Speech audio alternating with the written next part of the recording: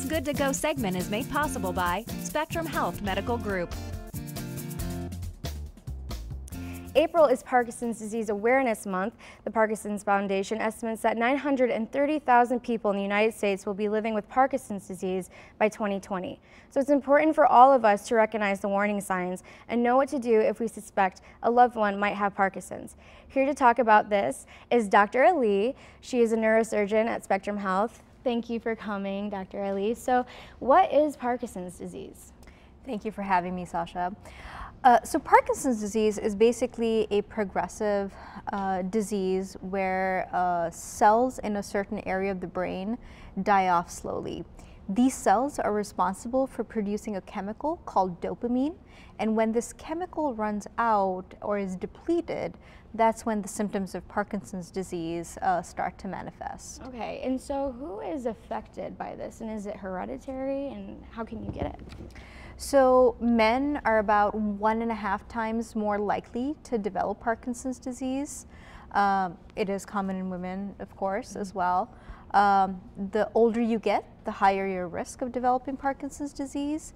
And a very small subset of uh, patients can have a hereditary component, but most don't. Okay, and so what are some common signs that people should be looking for if they think that they have Parkinson's disease? So it's not a one size fits all okay. uh, sort of situation, but common symptoms can be tremors, especially at rest, uh, rigidity of movement, difficulty initiating movement, stiffness, trouble with walking and balance okay. are some common symptoms. And so how does one treat Parkinson's? Is there some remedies or, you know, how can you go about it?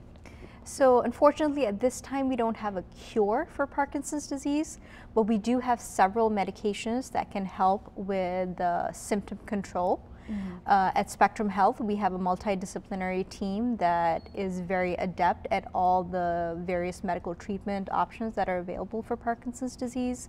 And then for patients who don't respond to medication or stop responding to medication, we perform a deep brain stimulation surgery. Okay. And so, what makes Spectrum Health's, you know, Parkinson's disease program so special and so unique and stand out from others?